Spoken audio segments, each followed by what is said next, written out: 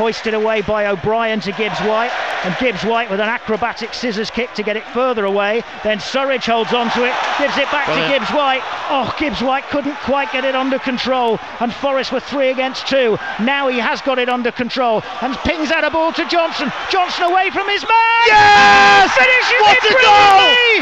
That is a superb finish from Brennan Johnson, and Forest lead 2 0.